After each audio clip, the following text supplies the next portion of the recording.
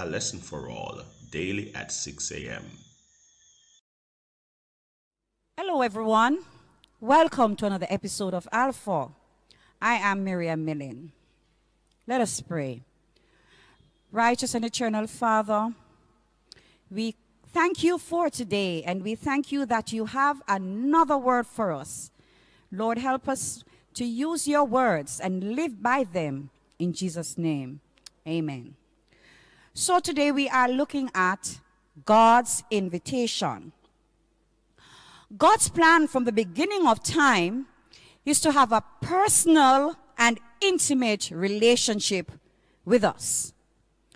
We have the perfect example in his dealings with the children of Israel. After delivering them from Egypt, he invited them to consecrate themselves so they could come into his presence. Those who did not consecrate themselves would die. God invited them to come to a flaming mountain so they could experience his presence. But alas, they became afraid and asked Moses to be their intermediary, intermediary before, between God. According to the lesson, this was due to their lack of faith and the sins they were practicing. God's manifestation at Mount Sinai was twofold. It was to teach Israel that God is to be respected, but it was also to teach them that he is a merciful and gracious God. Israel was afraid of coming face to face with God. Even Moses was at one point afraid. No wonder Hebrews tells us that we have better promises in Jesus.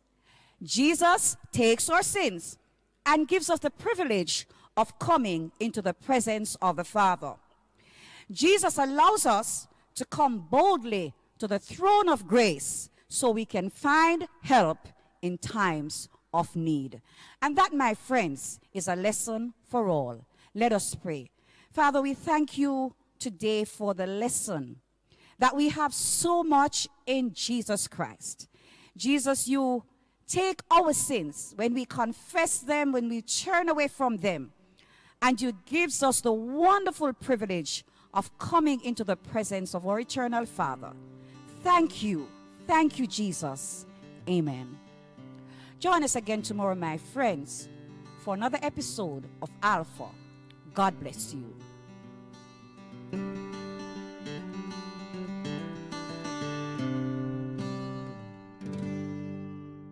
Lesson for all, daily at 6 a.m.